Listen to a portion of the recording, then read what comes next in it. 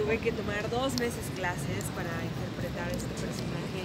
Tiene un número de acrobacia aérea. Eh, Fue la verdad muy difícil, pero me fascina poder estar presentando hoy en día esta película y cerrar el año con un personaje totalmente distinto aparte, poder mostrar realmente qué tan diferente te puedes ver en cada personaje. Este ha sido un año de, de personajes totalmente distintos. Oye, cuéntanos un poquito de Estrenos, sí, y lo que se viene.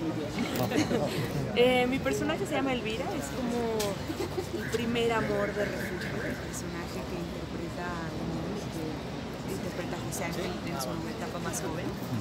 Eh, y bueno, le doy, le enseño un poco a lo que es el amor.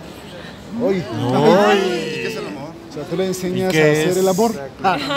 ¿No? No, no hace nada. Te.